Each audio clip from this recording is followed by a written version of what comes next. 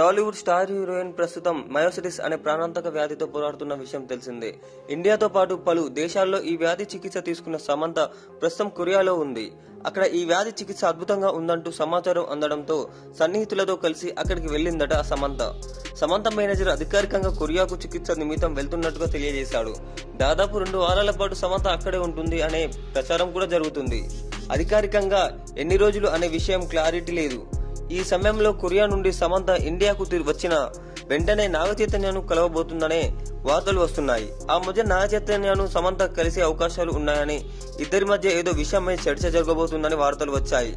కానీ ఆ సమయంలో ఇద్దరు కలవలేదు. ఇప్పుడు చికిత్స నిమిత్తం నాగచైతన్య సమంత కొరియా వెళ్ళింది. ఆమె అక్కడ నుంచి వచ్చిన వెంటనే నాగచైతన్యను వెళ్ళి కలవాలని భావిస్తున్నాడట. ఆ విషయాన్ని సమంత మేనేజర్కి కూడా చెప్పాడని సమంత ఓకే చెప్పిందని ప్రచారం జరుగుతుంది. ఇప్పటి వరకు వీరిద్దరు అధికారికంగా విడా- విడాకులు తీసుకున్నారా లేదా అనే విషయాన్ని క్లారిటీ లేదు.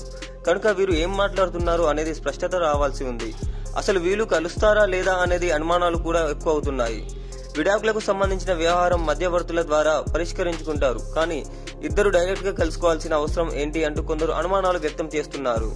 గతంలోనే మాధురి ఈసారి కూడా సమంత నాగచైతన్య కలవబోతున్నారు అనే వార్తలు పుకారై ఉండవచ్చు అంటూ కొందరు అభిప్రాయం కూడా వ్యక్తం చేస్తున్నారు. ఇదిలా ఉంటే సమంత నాగ చైతన్య విడాకుల తర్వాత విడాకులు రద్దు చేసుకుని నేరుగా వెంకటేష్ ఇంటికి వెళ్తారనే సమాచారం జోరుగా జరుగుతుంది. అయితే ఇందులో ఎలాంటి అధికారిక ప్రకటన లేదు కానీ ఈ వార్త మాత్రం సోషల్ మీడియాలో తెగ చెక్కలు కొడుతుంది.